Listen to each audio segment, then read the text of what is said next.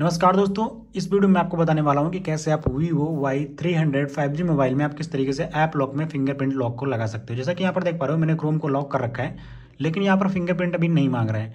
तो चलिए मैं आपको बताता हूँ कैसे आप फिंगरप्रिंट को ऐड करोगे, जिससे कि आप अपने फिंगर से ही ऐप लॉक को ओपन कर पाओगे। दोस्तों, इसके लिए आपको जाना पड़ेगा फ़ोन की सेटिंग में।